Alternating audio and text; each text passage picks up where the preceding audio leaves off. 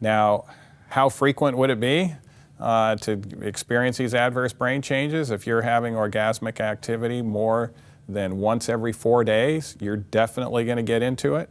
Uh, but ideally, it's actually better for the brain to wait a week. So after the 90 days is over with and you're in intimate marriage, it's better to plan it about every seven days so the male can get a nice testosterone spike that wouldn't occur otherwise and to prevent those three unhealthy brain changes.